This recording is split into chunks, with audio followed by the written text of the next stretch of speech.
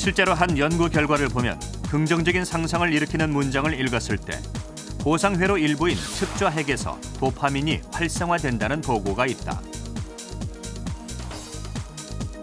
즉 상상만으로도 강한 동기부여 효과를 얻을 수 있다는 것이다.